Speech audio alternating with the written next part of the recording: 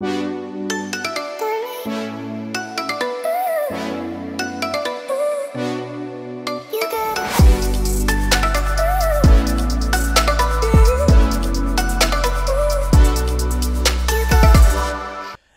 et bienvenue dans ce nouvel épisode du podcast Envie de changement. Bienvenue pour cet épisode 120. J'espère que, bah, comme toutes les semaines, hein, tu as compris la musique. J'espère que tu vas bien. J'espère que tu passes une bonne journée, une bonne semaine quand tu écoutes ce podcast. Tu l'as vu dans le titre.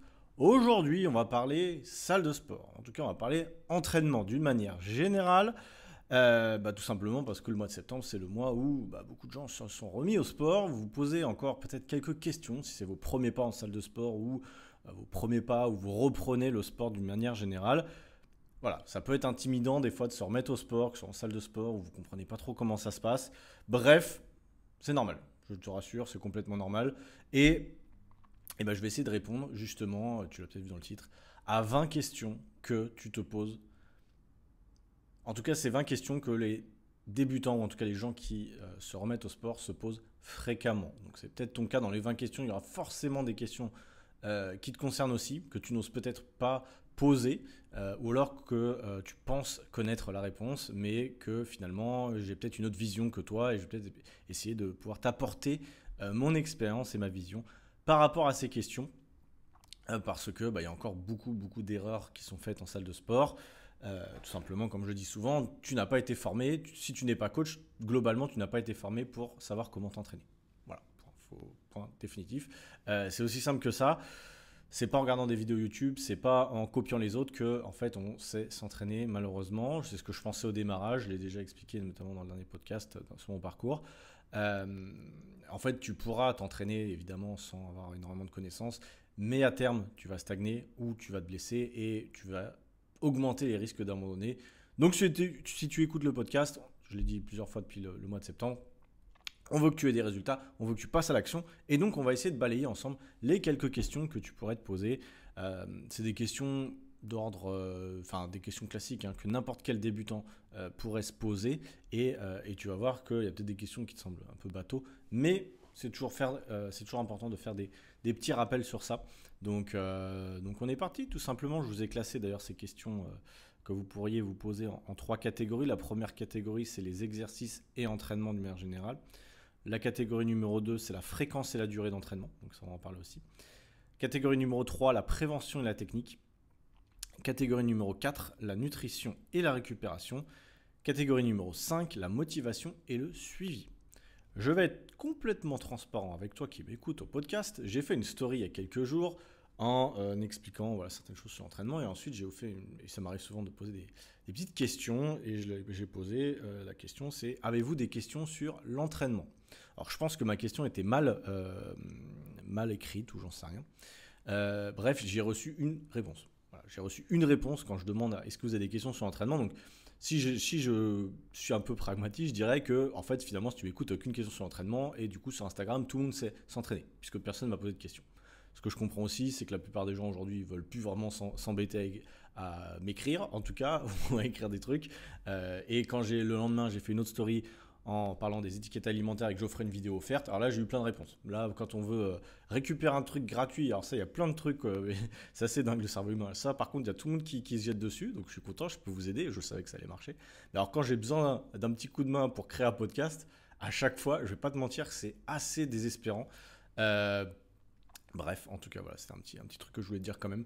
si jamais tu vois que je fais des stories ou voilà, des fois je demande des trucs, déjà là-bas c'est pour vous aider, parce que moi je, voilà, je sais m'entraîner. Mais, euh, mais voilà, si tu as, si as l'occasion de me faire des petites interactions de temps en temps, sachez une chose, parce que ça je, vois souvent, euh, les gens qui suivent des coachs sur Internet ou des, sur Instagram ou des influenceurs ou ce que tu veux, euh, vous pensez qu'on reçoit 40 000 messages par jour.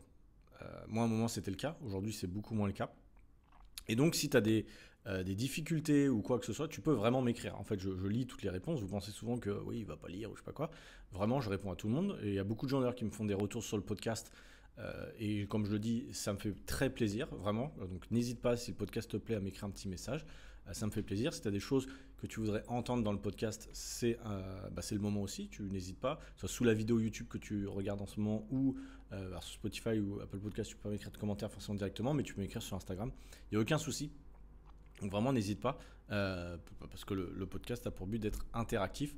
Et donc, bah, je me suis auto-créé les, 20 questions. Hein. clairement, je te le dis, j'en ai pas reçu 20. Donc, je me suis auto-créé les 20 questions que tu dois sans doute te poser si tu écoutes ce podcast. Voilà, c'est pas très compliqué ces questions-là d'expérience. Euh, bah, c'est des questions que j'avais notées par le passé. Ça fait 3 euh, ans, plus de 3 ans que je suis coach.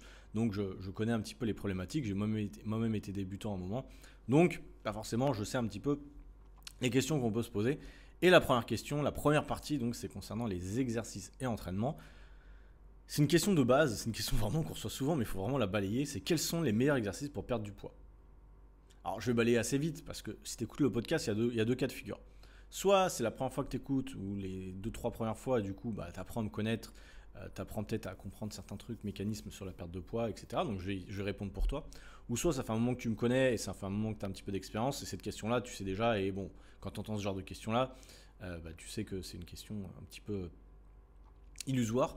Euh, bah, parce qu'il n'y a pas de meilleur exercice pour perdre du poids. Voilà, comme ça au moins c'est réglé, tu le sais, mais je vais quand même, je voulais quand même te le redire euh, parce que quand on suit les gens sur Instagram, je parle sur Instagram parce que je suis le plus présent, on voit des gens faire de la corde à sauter, on voit des gens faire de l'elliptique, on voit des gens faire du vélo, on voit des gens faire de, la marche inclinée et ils te disent, c'est le meilleur exercice pour perdre du gras ou pour perdre du poids.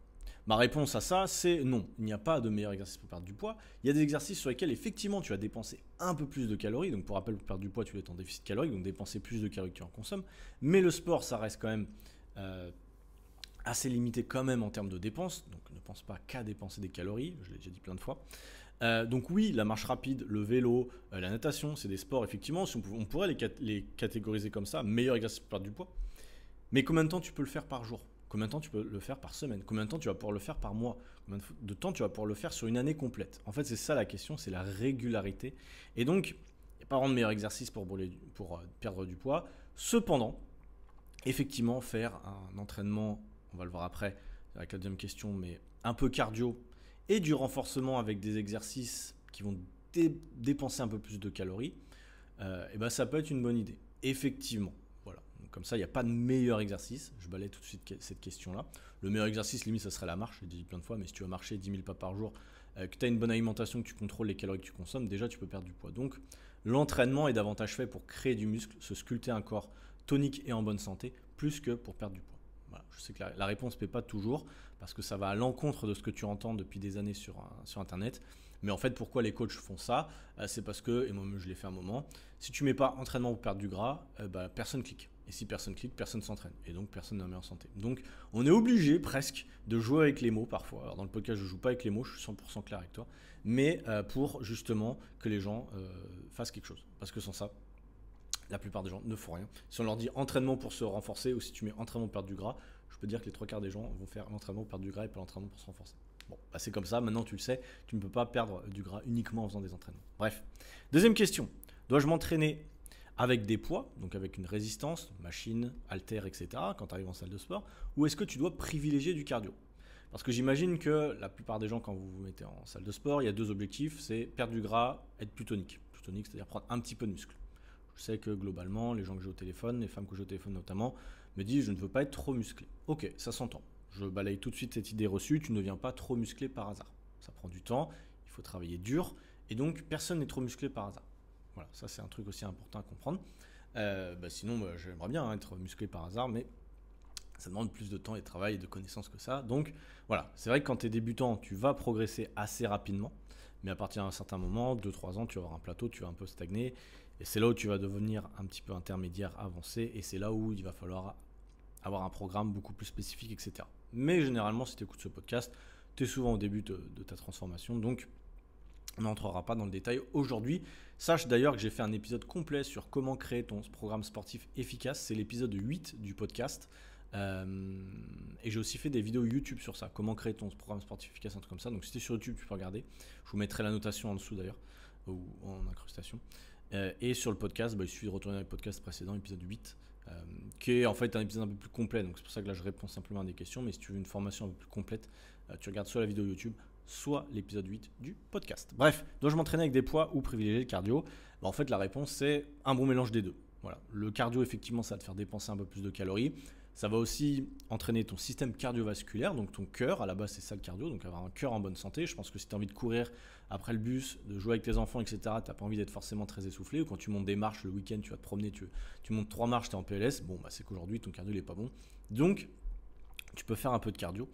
Évidemment, quel type de cardio? Soit du cardio un peu long, marche, marche un peu longue, euh, voilà, tapis incliné si tu veux, vélo, 10-15 euh, minutes ou même 20 minutes en fin de séance, ça peut être pas mal. Moi, je te privilégie, enfin, je te conseille de le faire à la fin de la séance, de toute façon, ton cardio.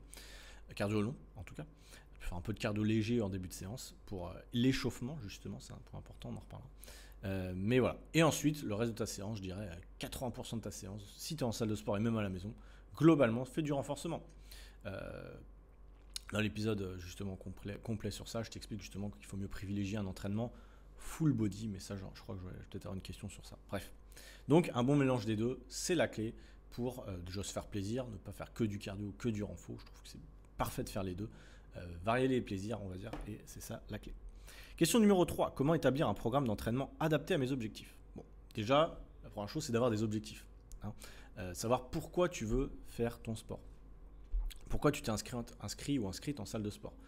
Recherche tes raisons profondes pourquoi c'est important pour toi de changer, quels sont les bénéfices que tu pourras en tirer et pourquoi aujourd'hui la situation dans laquelle tu te trouves ne te convient pas. Peut-être qu'aujourd'hui tu es dans un corps qui ne reflète pas la personne que tu veux être. Peut-être qu'aujourd'hui euh, bah, tu as 40 ans, 50 ans, tu peux plus faire grand chose, tu es un peu cassé de partout, tu es en surpoids, tu n'arrives pas à faire les mouvements du quotidien. Bah, sache que bah, ça peut se comprendre que tu as envie de changer. Mais je comprends. Euh, et c'est jamais trop tard, de toute façon. J'ai déjà dit dans plusieurs épisodes, j'ai des élèves qui ont 5, en fait, plus de 50 ans, des fois je fais entre 30 et 50 ans, mais j'ai des élèves qui ont plus de 50 ans, 55, pour Maïté notamment, euh, qui est une de nos élèves qu'on accompagne, j'ai Franck aussi que j'accompagne personnellement, qui a 62-63, dit plusieurs fois, et euh, ce sont des élèves qui ont d'excellents résultats. Alors forcément sur une perte de gras, bah, c'est aussi facile que si tu avais 30 ans, c'est logique, mais euh, clairement, avec un peu de une bonne méthode, une bonne détermination, un bon un pourquoi assez fort, ils ont d'excellents résultats aussi. Donc voilà, ça, pour ça, c'est important. Et et donc définis déjà tes objectifs. Est-ce que tu veux uniquement perdre du poids ou est-ce que tu veux euh, avoir un corps plus tonique? Est-ce que tu veux euh, travailler plus ton endurance musculaire? Est-ce que tu veux travailler, euh, prendre plus de masse musculaire? Enfin bref, définis un petit peu ça. Et ensuite, en fonction des objectifs que tu auras fixés, il va falloir que tu fixes ton nombre de séances. Et c'est là où c'est important de ne pas aller pleine balle, je le dis souvent, mais si tu es ultra motivé, c'est bien. Mais sache une chose, c'est que si tu t'entraînes 5-6 fois dans la semaine, il y a peu de chances quand même que tu tiennes toute l'année à ce rythme. Pourquoi? Parce que ça prend beaucoup de temps. Euh, tu vas forcément entraver bah, un peu ta vie sociale ou ta vie professionnelle en t'entraînant autant. Et donc au démarrage, c'est pas du tout ce que je recommande. Moi personnellement, je l'ai déjà dit, je m'entraîne 4 fois par semaine à la salle. C'est suffisant, je trouve que je passe assez de temps, je passe une heure, une heure et quart à la salle, donc ça fait allez, 4h30, 5 heures à la salle euh, par semaine à peu près. C'est suffisant, j'ai suffisamment de résultats comme ça. Et au-dessus, j'ai déjà testé, ça euh, ne me plaît plus, ça devient trop une contrainte. Euh, ne, serait-ce que pour ma vie sociale, je ne m'entraîne pas forcément le week-end, je préfère euh, faire autre chose, et donc je pense que c'est à peu près ton cas. Donc voilà, fixe-toi un nombre de séances. Souvent on me demande combien de séances je dois faire. Je dirais minimum 3. Allez, 2 vraiment si c'est vraiment. Mais 3 vraiment, voilà, tu me comprends, 3 c'est mieux. Entre 3 et 5 séances, nous c'est ce qu'on fait avec nos élèves dans le programme. Entre 3 et 5 séances, elles ont d'excellents résultats. Euh, à la maison, elles s'entraînent 30 minutes. En salle de sport, c'est à peu près une heure. Et voilà, point. T'as pas besoin de faire beaucoup plus. Euh, question 4.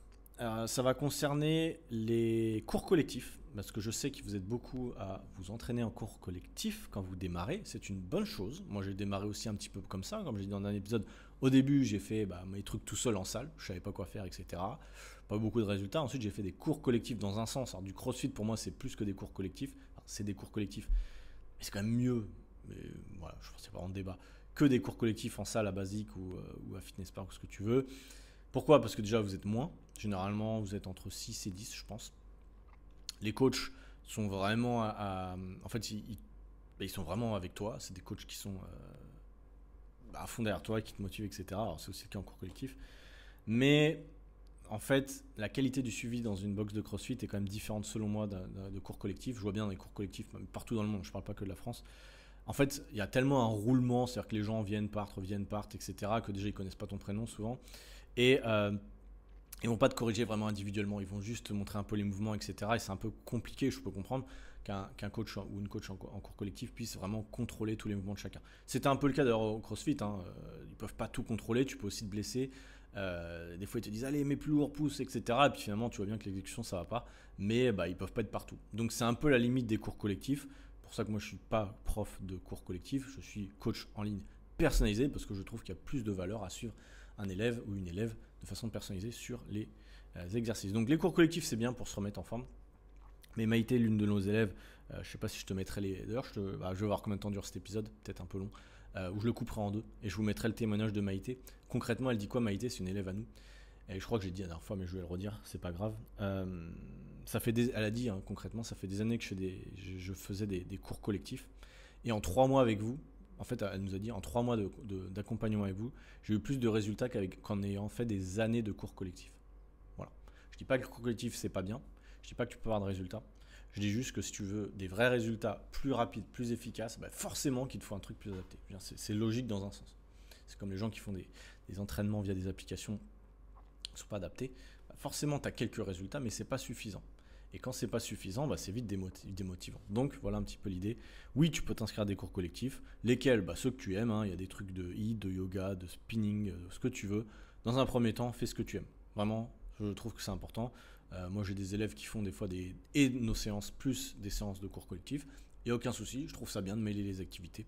Mais si tu veux de, vrais résultats, ne fais pas que ça. Question numéro 5. Quels équipements devrais-je utiliser pour mes objectifs? Ça c'est une question assez vague. Je t'invite vraiment à écouter le podcast numéro 8 sur comment créer ton programme sportif idéal ou ma vidéo que je vous mettrai en, lien dans la description. Euh, parce que bah, c'est assez complexe.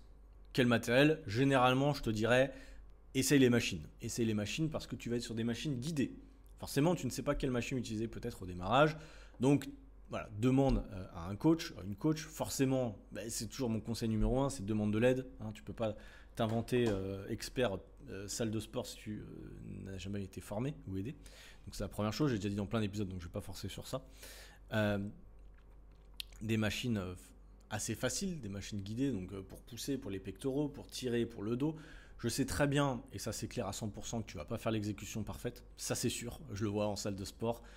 80, euh, allez, 70% des gens que tu regardes quand tu es un peu expérimenté et coach, tu vois qu'il y a des erreurs, des erreurs assez grossières même d'exécution. Tant que c'est pas dangereux, c'est pas très grave, mais euh, il y a des fois où c'est dangereux. Bah forcément tu ne sais pas, surtout sur un tirage vertical pour le dos par exemple, les gens généralement tirent qu'avec les bras ou alors euh, mettre trop lourd. Comment savoir si tu mets trop lourd ou pas C'est pas toujours évident. Je encore une fois, fais-toi aider. Regarde des vidéos euh, sur YouTube où il y a des gens qui expliquent l'exécution de chaque mouvement.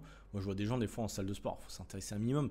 Mais tu arrives devant une, machine, tu regardes le nom de la machine, tu tapes sur YouTube. Euh, j'en sais rien, le nom de la machine plus tutoriel, et tu as un mec qui va t'expliquer. Généralement, c'est Nassim Sali d'ailleurs, qui est le mieux référencé en France. Quand tu tapes ça, il va t'expliquer. Donc ça, je trouve que c'est déjà une première étape. C'est en fait s'entraîner intelligemment. Si tu le fais pas, je suis désolé, mais euh, bah, c'est que tu as un manque de, curiosité. Il hein, faut, le dire clairement. Il y a plein de gens qui disent je sais pas quoi faire, je sais pas quoi faire. Aujourd'hui, vous avez quand même beaucoup d'outils pour vous aider. Et donc, faites comme ça. Euh, nous, dans notre programme, effectivement, nos élèves, elles ont les vidéos d'exécution, elles ont des instructions qu'on leur donne. Donc forcément, elles sont guidées. Elles nous envoient aussi les vidéos d'exécution si elles ont un doute et elle nous, euh, nous, nous, parle en gros quand on a des rendez-vous. Donc on, peut les suivre même à distance, c'est plus facile. Mais si tu es toute seule ou tout seul, bah forcément, on va peut-être sur des machines, prendre des poids, des haltères assez légères.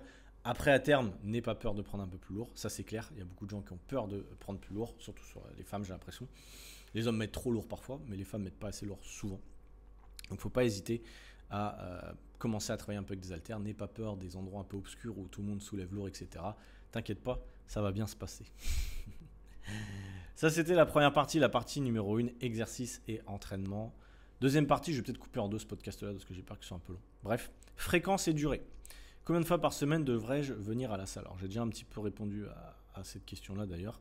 Euh, mais en tous les cas, c'est important que tu comprennes que c'est pas plus j'en fais, plus j'ai des résultats. Pas forcément. En fait, à partir d'un certain point, il faut que tu aies un nombre de répétitions ou de volume d'entraînement, on appelle ça, mais un nombre de répétitions par muscle cohérent dans la semaine. Je m'explique, je vais essayer de faire très simple si tu n'as jamais entendu parler de ça. Je veux faire augmenter mes fessiers. C'est un bon exemple pour les femmes généralement, les hommes aussi, pourquoi pas. Euh, combien de fois je vais devoir faire des exercices pour mes fessiers? Bah, En fait, la réponse, elle est assez simple. Et j'ai un tableau sur ça. Euh, je ne sais pas si je le partagerai un, jour sur Instagram parce que c'est assez, assez, complexe. Mais pour les fessiers, euh, pour progresser, il faudrait faire entre 8 et 20, entre 8 et 20 euh, séries pour progresser.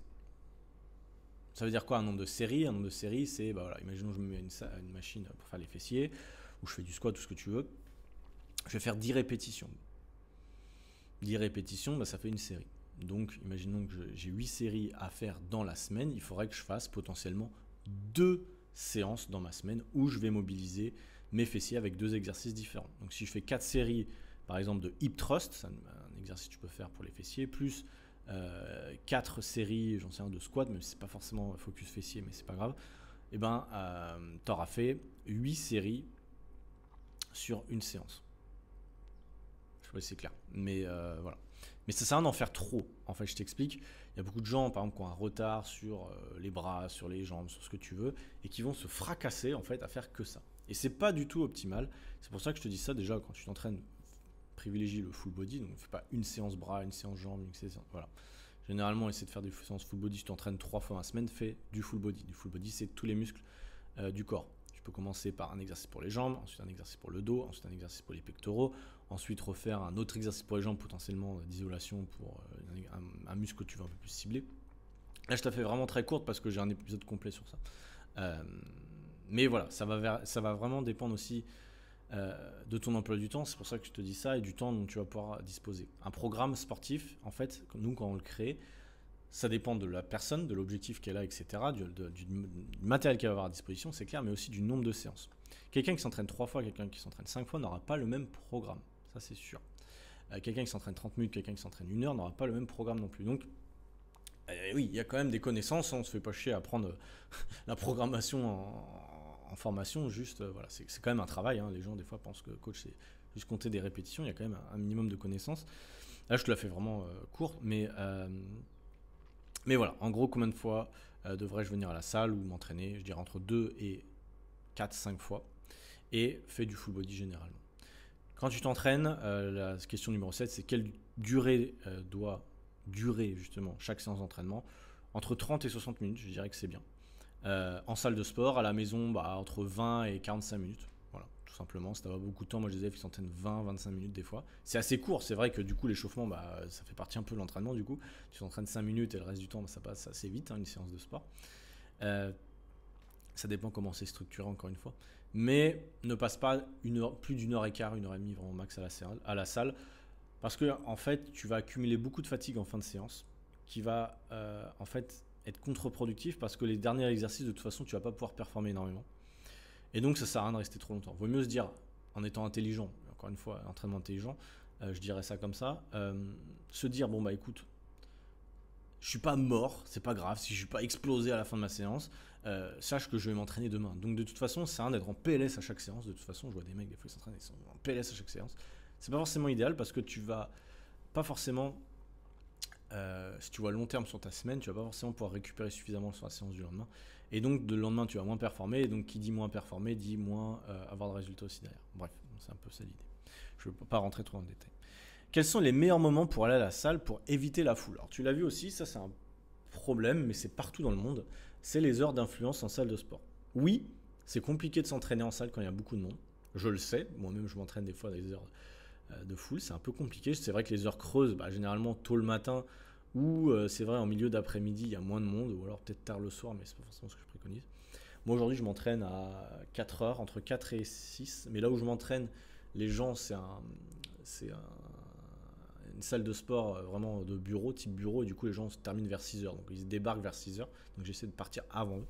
Euh, ou alors, effectivement, faut s'entraîner, même entre midi et deux, je pense qu'il y a pas mal de monde. En fait, forcément, si tu as un travail de bureau classique, forcément, tu vas t'entraîner quand il y a tout le monde. C'est normal. Si tu as l'occasion d'avoir un travail un petit peu différent, entraîne-toi aux heures creuses. Demande à, la personne à la réception, ils savent hein, très bien quand c'est les heures creuses.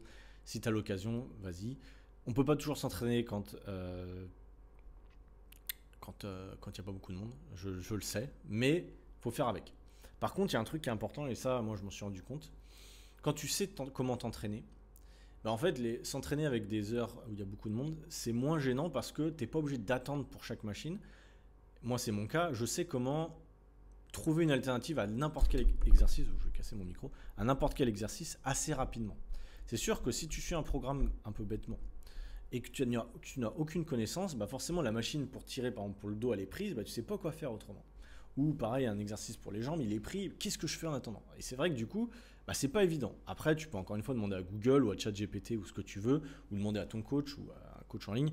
Normalement, il est censé, nous on le met des fois dans nos séances d'entraînement pour nos élèves, en tout cas moi ceux qui, me le demandent, je leur mets les alternatives.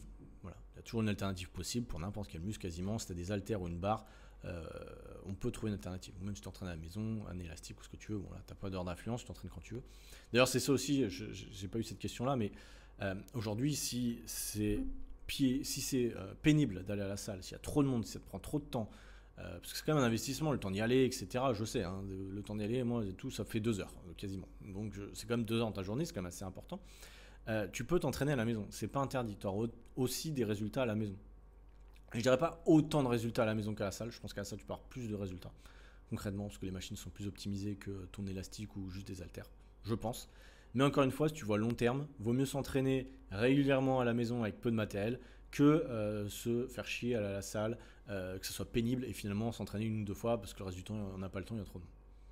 Voilà. Ou alors faire un, juste milieu, j'ai beaucoup d'élèves qui font ça aussi. Une partie à la maison, une partie à la salle. Comme ça, euh, bah voilà, au moins tu t'assures de faire tes séances à la maison et puis si tu as du temps, tu vas à la salle. Ça peut être aussi une idée. Oui, la salle, ça se paye. Oui, c'est un investissement, mais encore une fois, des fois, changer de euh, cadre d'entraînement, ça peut être une bonne idée pour garder en motivation. Moi, je le vois comme ça, tout simplement. Question, euh, enfin, partie numéro 3, prévention et technique. Question numéro 9, comment éviter de se blesser quand on commence à s'entraîner Quand on, est débutant ou même de manière générale? Bah, comment éviter de se blesser? La première chose, c'est évidemment l'échauffement. Il hein. faut toujours s'échauffer avant euh, de commencer une séance de sport. Comment s'échauffer? On me pose souvent la question. Si tu es à la maison euh, ou si tu es en salle, c'est un petit peu différent. Si tu es en salle, moi je t'invite à faire un peu de rameur, un peu de vélo, un peu de vélo elliptique pendant 5 minutes maximum. Un rythme assez euh, modéré, simple. Va pas trop vite. Hein. Et ensuite, tu fais des étirements dynamiques. Étirements dynamiques, ce ne sont pas des étirements statiques, c'est un petit peu différent. Je t'invite à regarder ma vidéo sur ça ou mon podcast. je ne reviendrai pas dans le détail aujourd'hui. Euh, mais en gros, mobiliser les articulations, etc., des muscles que tu vas travailler dans ta séance d'après. Enfin, dans la séance qui vient, tout simplement. Euh, si tu es à la maison, pareil, essaie de faire des, petits mouvements dynamiques. Tu peux aller marcher, faire un petit peu court, euh, des jumping jacks, des petits trucs un peu cardio pour, pour te mettre en rythme en démarrage. Il n'y a pas de souci. Et ensuite, donc, quand tu vas passer sur une machine ou quoi, l'idée c'est de monter en charge progressivement. Je te la fais rapide. Il te faut 3 à 4 séries d'échauffement, j'appellerais ça, avant de travailler sur tes séries de travail. Imaginons que je vais faire un mouvement pour les pectoraux, une machine chest press, on appelle ça, je sais pas comment on appelle ça en France. Eh ben, avant d'aller sur ma charge de travail directement, ce qui est logiquement pas possible, si euh, tu, pousses aussi lourd ta première euh, que ta dernière, c'est pas possible. Donc logiquement, tu as quelques séries d'échauffement. Donc tu fais, voilà, imaginons ma série de travail, elle est à 70 kg. Imaginons, pour pousser 70 kg. C'est, mon, c'est ce que je dois faire aujourd'hui. Euh, eh ben, je vais monter, je vais faire les 4-5 répétitions à 50% de cette charge, on va dire, à 30, 30 kg, on va dire 35 kg. Ensuite, 5 euh, à 6 pareil répétitions à 60-70% de cette charge. Et ensuite, 3 à 4, euh, enfin 5 à 6 euh, répétitions, arriver à 80%, par exemple. Et une fois que j'ai fait ça, je n'ai pas accumulé trop de fatigue, je ne me suis pas trop fatigué. Souvent, je si beaucoup de gens sur les séries d'échauffement, ils en font 12-15, tu n'es pas forcément obligé. Hein. Pour, le moment, c'est juste de lubrifier les articulations, vraiment se concentrer sur la charge qui va arriver, préparer aussi au niveau du système nerveux à pousser lourd un petit peu derrière. Et une fois que tu es prêt ou prête, ça prend 2-3 minutes, euh, tu peux travailler sur ta série euh, de travail, entre guillemets. Donc c'est la série qui, va te permettre de faire entre 8 et 12 répétitions, ça dépend des machines, etc. Je fais ça grossièrement. Et au bout de la 10-12e répétition, il faut vraiment que tu sois proche de l'échec musculaire, donc proche vraiment de la difficulté. Si tu t'arrêtes et que tu vois que tu pouvais en faire 4 ou 5 de plus, concrètement, c'est que tu n'as pas mis assez lourd. Donc tu peux mettre un peu plus lourd et rester euh, sur une fourchette de répétition voilà, entre 8 et 12 répétitions pour la plupart des mouvements. Voilà, pour info. Euh, quelle autre question tu peux avoir euh, quand tu la question 10 c'était est-ce que je dois faire des échauffements avant de m'entraîner? Oui de toute façon même si ça va beaucoup de temps hein, échauffe-toi 5-10 minutes ça je l'ai déjà dit question numéro 11 comment savoir si je fais mes exercices correctement? En fait, part du principe que tu les fais pas correctement. Voilà. C'est très bâtard ce que je veux dire, mais part du principe que tu ne les fais pas correctement. Parce que si tu pars du principe que tu fais tout correctement, bah tu vas jamais essayer de chercher à t'améliorer. Donc, part du principe que tu peux t'améliorer. La première chose, je pense, c'est tu peux demander à quelqu'un de te filmer. Si tu es avec un collègue ou une collègue ou une amie, un ami, tu peux lui demander de te filmer. Je sais qu'il y a beaucoup de gens qui ont honte de le faire parce qu'ils me disent ouais, passer pour un influenceur, je sais pas quoi. Vraiment, on s'en bat les couilles. Vraiment, euh, je dis, se filmer, c'est la clé pour voir son exécution. Ensuite, nous, nos élèves, elles nous les envoient. Donc forcément, on fait un diagnostic et on peut leur, leur faire des, retours. Toi, tu n'as peut-être pas la chance de pouvoir le faire. Euh, pas encore, en tout cas, sauf si tu te fais aider. Donc tu peux euh, comparer par exemple ton exécution avec celle d'un tutoriel sur YouTube, par exemple, hein, tout simplement ou d'une vidéo euh, que tu as revue quelque part. Tu peux demander à un coach autour de toi. Tu peux demander à quelqu'un d'un peu plus expérimenté. Je mets des gros, euh, des petites réserves par rapport à ça. Beaucoup de gens expérimentés, je l'ai encore vu hier en salle, des gens qui sont pourtant plus balèzes que moi, hein, aucun problème d'ailleurs avec ça, mais qui ne savent pas s'entraîner. C'est pas parce que tu es balèze que tu sais t'entraîner, je l'ai déjà dit plein de fois. Il y a des gens, ça fait 10 ans qu'ils s'entraînent, où forcément ils ont pris plus de muscles que nous, ils sont plus, voilà, physiques plus impressionnants. Par contre, quand tu vois la gueule des exécutions et tu vois qu'en fait, il y a plein de mouvements qui font que c'est tellement de la merde qu'ils doivent avoir mal partout, mais bon, c'est pas grave. Euh, moi, je suis de l'école de l'exécution, c'est ce qui est le plus important avant la charge, selon moi. Et donc, euh, et donc voilà, privilégie une bonne exécution. Euh, donc, regarde des vidéos de démonstration, demande à un coach et prends le temps d'apprendre la bonne technique, évidemment. ça ne s'invente pas. Catégorie numéro 4 nutrition et récupération.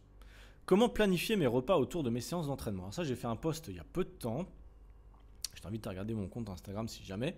Euh, mais généralement, je te conseille de manger une à deux heures avant de t'entraîner.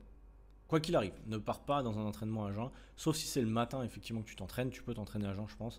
Il y a des gens qui, le tolèrent bien, moi personnellement je serais moyennement fan.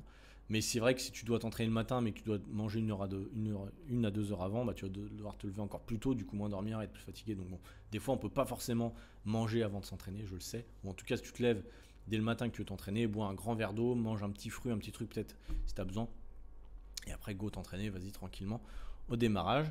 Euh, tu peux, ça dépend de de ton entraînement. Si tu t'entraînes par exemple euh, comme moi à 16-17 heures, bah, moi je bouffe on va dire à 13h, 13-14 heures, bah, je suis pas obligé de manger un petit truc avant. Ou alors je prends un petit kiwi souvent avant. Euh, ou alors des fois, si je, si je vois que ça fait 2-3 heures que je me suis, que j'ai fait mon dernier repas, que je vais aller m'entraîner, que je dois aller m'entraîner, je vais quand même manger un truc un peu plus important. Euh, souvent un fruit, moi je conseille toujours un fruit avant de s'entraîner. Euh, c'est un truc que tu peux digérer assez facilement. Euh, si c'est une heure avant, tu peux manger un truc un peu plus consistant, un peu un apport en protéines, pourquoi pas. Mais en fait, ce qu'il faut pas, t'as pas besoin de prendre des. Les gens ils pensent, faut prendre des shakers de protéines avant de s'entraîner ou je sais pas quoi. Non, pour info, tu n'as pas besoin de prendre d'aliments protéinés avant l'entraînement, c'est surtout après en général. Euh, ou alors sur ton repas précédent. C'est-à-dire, il y a 2-3 heures, j'ai pris euh, de la viande, etc. Oui, ok. Mais ne prends pas un, truc protéiné juste avant l'entraînement, ça n'a pas trop d'intérêt. Au contraire, tu vas mettre du temps à le digérer, c'est pas forcément ouf. Donc prends un fruit généralement, hydrate-toi bien évidemment tout au long de la journée. Et euh, prends un, snack à la fin de ton entraînement s'il y a besoin. Tu n'es pas obligé de prendre un shaker protéiné.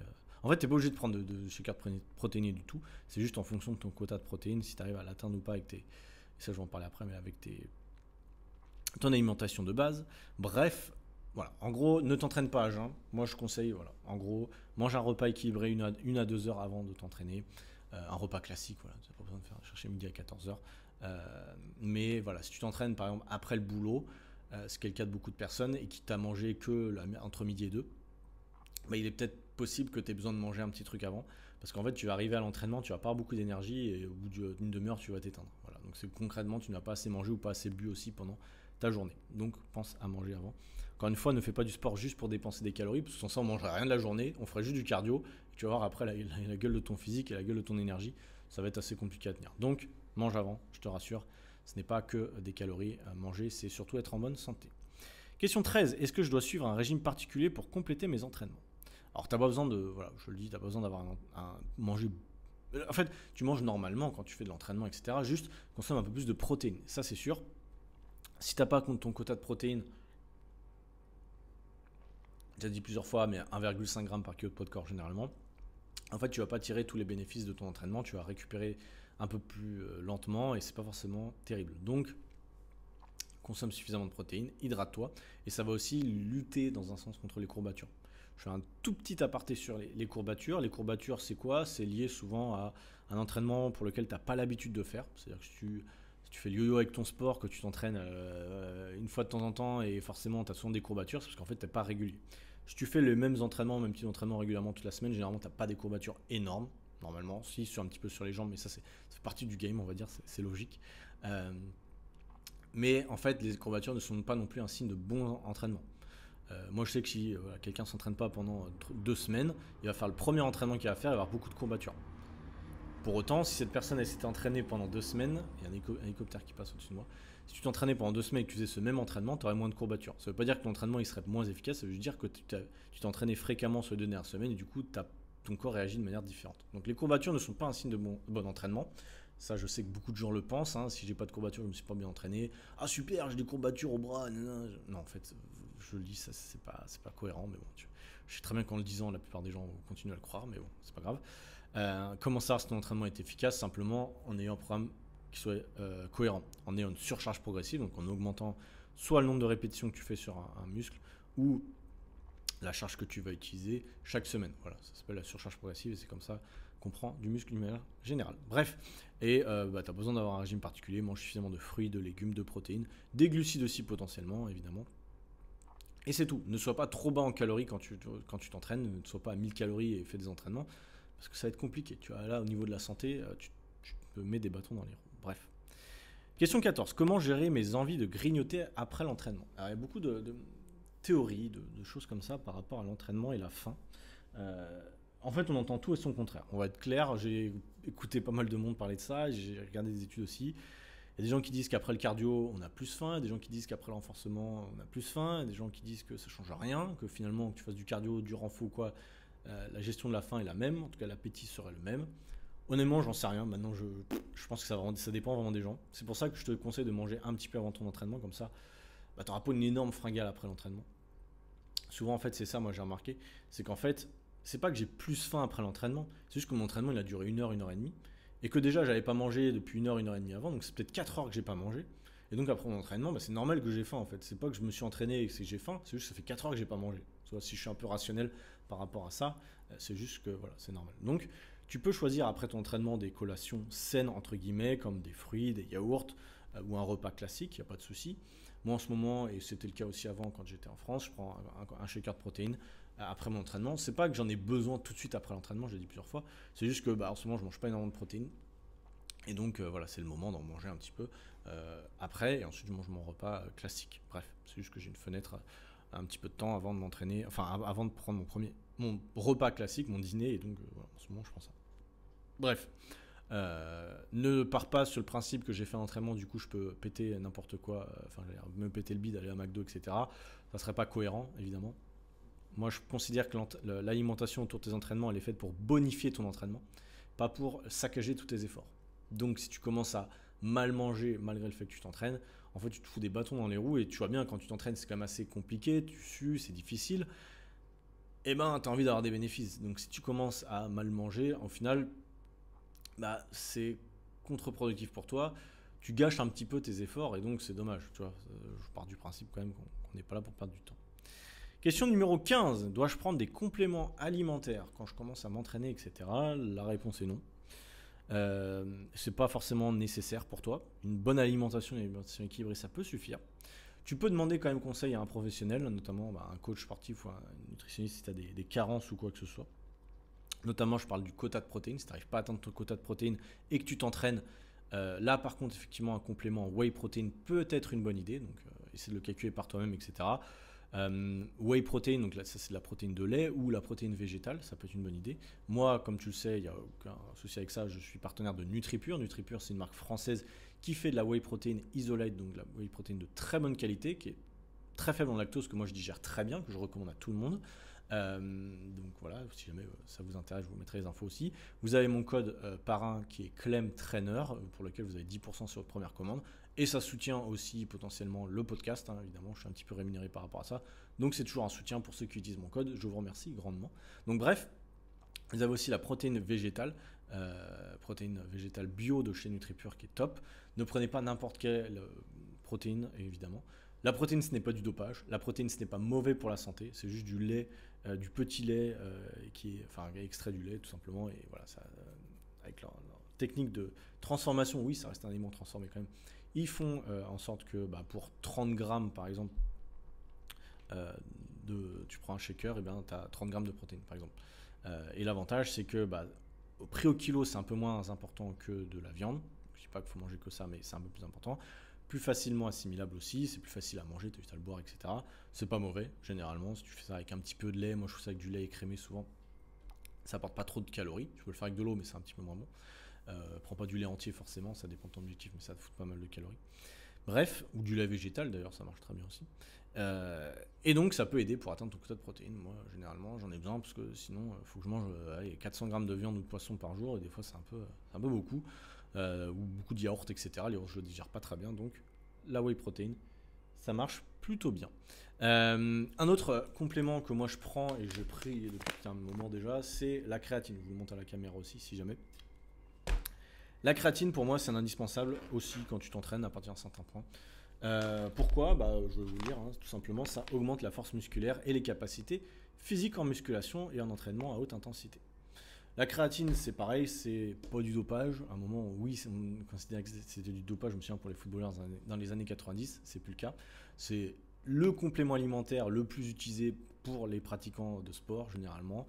Euh, ce n'est pas du dopage, c'est présent la créatine dans la viande, c'est juste qu'il faudrait beaucoup de viande pour avoir un autre quota de protéines. Et, euh, et en fait, ça n'a pas de goût, hein. tu fous ça avec de l'eau, moi je l'ai pris ce matin, voilà, et hop, terminé. Tu prends, moi je prends, il faut généralement 5 grammes de protéines euh, par jour, de créatine par jour. Moi je prends deux petites dosettes de 2,5 grammes pour l'assimiler correctement, parce que si je prends 5 grammes d'un coup, souvent j'ai du problème de digestion derrière. Voilà, pour info, ça dépend des gens et il faut le prendre généralement avec le petit déj ou avec un repas. Comme ça, tu l'assimileras davantage, en tout cas avec une source de glucides. Donc la créatine, c'est top, ça va permettre de, euh, deux choses. Déjà, développer un peu plus de force. C'est très léger, mais quand même. Euh, si tu développes plus de force, tu vas créer plus de muscles, c'est logique. Et tu vas faire un petit peu de rétention d'eau euh, intramusculaire. Et donc, du coup, bah, tu auras l'impression d'être un peu plus musclé. Encore une fois, même pour les femmes, je pense que c'est une bonne idée de prendre la créatine. Il y a aussi des, aspects apparemment positifs au niveau du cerveau. Ça, je vous inviterai à regarder. Bref, la créatine, c'est top. Il n'y a aucun inconvénient à prendre, vraiment. Et toutes les études scientifiques sont raccord par rapport à ça. C'est extrêmement positif. Donc voilà, par rapport à ça. On enchaîne sur, oh, je pense qu'on va finir le podcast sur ça. La partie numéro 5, motivation et suivi. Comment rester motivé pour m'entraîner régulièrement? Ça, c'est la question qu'on reçoit souvent. Bah déjà, comme je l'ai dit tout à l'heure, il faut se fixer des objectifs réalistes. Voilà, déjà, des objectifs réalistes. Euh, ne fixe pas des objectifs, je m'inscris en salle de sport, je veux perdre 10 kilos parce qu'en fait, la, salle de sport n'a pas, pas, pour objectif de te faire perdre 10 kilos. Euh, mais bon, je comprends hein, la, logique, mais bon, voilà. Fixe des objectifs réalistes, par exemple, voilà, je... Alors ça, c'est un peu, comment dire, un peu compliqué, mais je sais pas, je veux, j'ai des élèves qui faisaient ça, à un moment, je veux, pas, je veux faire ma première traction d'ici 3 euh, mois ou 6 mois, par exemple. Bon, bah, à ce moment-là, comment tu vas faire? Euh, C'est un objectif, oui, qui peut paraître un peu idiot comme ça, mais c'est quand même un objectif intéressant. Euh, bah, je vais aller sur la machine, tu, peux faire des tractions assistées, je vais mettre un poids à donner, et puis je vais essayer de le réduire au fur et à mesure, gagner en force, etc. Ou avec un élastique, et je vais voilà, essayer de passer mes premières tractions. J'ai beaucoup d'élèves qui font ça, hommes et femmes. Euh, c'est un, un entraînement, enfin, un objectif qui peut être intéressant. Ou alors je vais faire un squat avec une barre euh, de 30 kg sur les épaules. si tu n'as jamais fait de squat de ta vie, bah, ça peut être un objectif. voilà, essayer de faire des choses comme ça. Je sais qu'au démarrage, je sais pas ce que c'est un squat, je sais pas ce que c'est une traction, forcément c'est un peu compliqué. Mais quand tu commences à comprendre un petit peu, c'est un peu plus avancé, tu vas comprendre que c'est important. Euh, ou alors, je veux, euh, mon objectif, c'est de pouvoir m'entraîner trois fois dans la semaine, 30 minutes, et de le faire pendant trois mois. Voilà. Et une fois que tu as réalisé ça, bah déjà, tu peux te dire que c'est un objectif accompli. Tu peux célébrer les petites victoires. C'est important aussi. Euh, parce que souvent, on oublie de célébrer notre petite victoire. On va pas se mentir, on est souvent dur envers nous-mêmes. On voit souvent l'aspect négatif des choses. Et on, bah du coup, on célèbre jamais. C'est vrai qu'on est souvent, enfin moi je suis souvent comme ça aussi. Je m'entraîne, je m'entraîne, et puis je, prends jamais de recul sur ce que je fais bien. Je me dis toujours, ouais, faut que j'améliore ça. Je fais pas ça, merde, je suis pas assez bon. Finalement, c'est vrai qu'il y a des choses que je fais, que je progresse et j'ai du mal à célébrer. Bon, bah voilà, c'est peut-être ton cas aussi. Donc, pense à célébrer les petites victoires. Si aujourd'hui, quand l'épisode sort, je sais pas, on est fin septembre, peut-être écoute ça plus tard. Si ça fait un mois que tu t'entraînes, bah célèbre-le. Voilà, ça fait un mois que je me suis entraîné. Sache que c'est pas le cas de beaucoup de monde. Euh, la plupart des gens ne s'entraînent pas régulièrement. Et donc, si c'est ton cas, célèbre-le. Voilà, tu peux t'offrir un petit truc, euh, petite récompense. Ça, tu pas obligé de péter le bide avec un Kinder Bueno, mais pourquoi pas. mais voilà, en tout cas, célèbre ça. Comment rester motivé? Bah, C'est aussi d'avoir un programme. Je pense que le fait d'être accompagné, d'avoir un programme, c'est la clé pour rester motivé, clairement. Quand tu es toute seule ou tout seul, tu sais pas quoi faire, que tu progresses pas, bah, forcément c'est difficile de rester motivé. Trouve autrement un partenaire d'entraînement, ça peut aussi être une idée. J'aimais quand même des, réserves par rapport au partenaire d'entraînement. Je trouve qu'à moyen long terme, un partenaire d'entraînement, c'est pas du tout efficace. Euh, parce que tu es très dépendant de elle ou de lui. Normalement, vous ne devez pas devoir vous entraîner de la même manière. Sauf si tu as vraiment le même physique, les mêmes objectifs, mais généralement, c'est assez pas trop le cas. Donc, si tu fais exactement la même chose que quelqu'un, c'est pas forcément ouf. Et, euh, donc, voilà. Tu, en fait, ça peut être une bonne idée d'avoir un partenaire d'entraînement de temps en temps. Peut-être pas tous les jours. Bon, voilà, après, ça, ça dépend des cas. Moi, je préfère m'entraîner souvent tout seul. Je suis plus, performant tout seul et à, mon niveau, en tout cas, je n'ai plus besoin de partenaire pour me motiver. De temps en temps, c'est bien de voir un peu ce que font les autres, etc. Je trouve c'est cool de voir un peu comment ils s'entraînent, etc. Tester leurs, leurs entraînements, potentiellement. Euh, mais voilà, mis à part ça, ça ne changera pas grand-chose. Question 17. Comment savoir si j'ai progressé dans mes entraînements? Bah, La question, et ça j'aurais dû le dire dès, le début, bah, c'est d'avoir un programme et surtout de noter ses performances. Qui, aujourd'hui, en salle de sport, j'en vois pas beaucoup, hein, note les performances qu'ils font soit sur une application de coaching comme nous utilisons avec Gymkick, l'application qu'on utilise où nos élèves peuvent noter leur performance, ou sur le bloc-notes de ton téléphone, ou même sur un, carnet papier. Aujourd'hui, si tu le fais pas et que tu t'entraînes régulièrement à la salle, il y a un problème. Il faut être clair. Tu te mets des bâtons dans les roues encore une fois. C'est vrai que c'est un peu chiant. C'est comme les gens qui disent euh, ça prend du temps de calculer ses calories, je l'ai dit dans dernier épisode. Oui, ça prend du temps, mais si tu ne calcules pas ou si tu n'as aucune notion de, de chiffres dans tes entraînements, dans ton alimentation, tu fais tout au hasard, tu reprends un zéro à chaque fois, et donc bah, en fait tu progresses pas. Et donc si tu progresses pas, tu vas perdre en motivation et du coup tu vas avoir de résultats. Donc en fait, moi je vois ça comme ça. Moi aussi, ça me fait chier de noter mes, poids, etc. J'aimerais bien ne pas le faire. Mais j'ai compris que si je le faisais pas, j'allais pas progresser. Et si je progresse pas, moi j'ai plus envie de m'entraîner. Donc je suis quand même un peu logique par rapport à ça, je pense que toi aussi. Donc suis tes progrès tu notes ce que tu fais chaque semaine. Moi, j'ai mon truc où c'est marqué lundi, mardi, euh, jeudi, vendredi, mes séances. J'ai mes machines que j'ai notées sur mon bloc-notes ou sur mon application Gymkey. Et, euh, et j'ai mes performances de la semaine d'avant. Et je sais ce que je dois faire aujourd'hui. J'arrive, voilà, je vais augmenter euh, bah, ma charge du plus petit cran possible aujourd'hui. Je vais tester entre 8 et 10 répétitions, je vais voir ce que ça donne, etc. Bref, assez simple comme ça. Donc, note tes performances.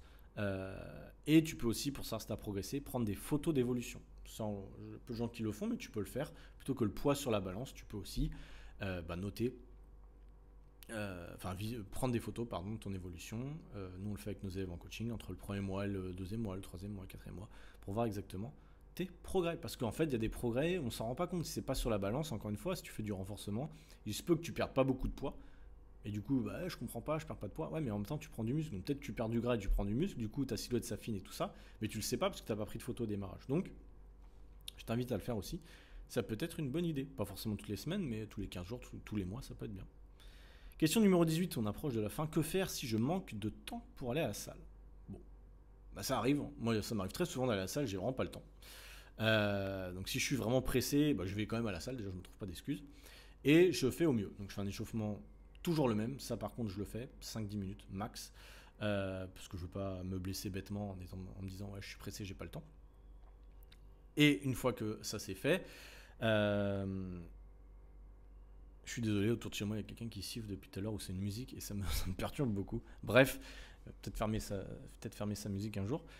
Et donc, euh, bref, du coup, ça m'a fait perdre le fil, je suis désolé, c'est assez compliqué, surtout en fin de podcast. Mais bref, en tout cas, je vais faire des supersets si je peux. Ou alors, au lieu de faire 3 à 4 sites de travail, je vais en faire que 2 ou 3. Euh, donc je vais réduire un petit peu euh, tout ça. Je vais pas skipper, je vais pas sauter d'exercice potentiellement, mais je vais peut-être faire des supersets, c'est-à-dire enchaîner deux machines. Ou alors quand je vais faire mes pectoraux, je vais enchaîner directement avec le dos derrière, si je peux, si j'ai de la machine de dispo. Ou alors euh, à la fin, pour faire les, c'est ce que je fais à la fin, parce que j'ai pas beaucoup de temps, je fais les biceps et les triceps en même temps. C'est-à-dire, je vais faire une série de, biceps curl par exemple, et ensuite je fais les triceps extension. Bref, je vais pas attendre comme un con et une minute et rien faire. Donc non, j'enchaîne.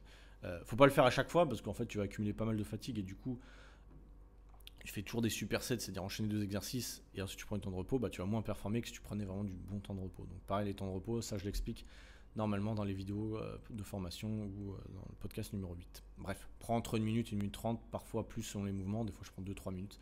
Ça, ça dépend du mouvement. Euh, donc voilà, fais quand même des séances, même si tu n'as pas beaucoup de temps, c'est mieux que rien.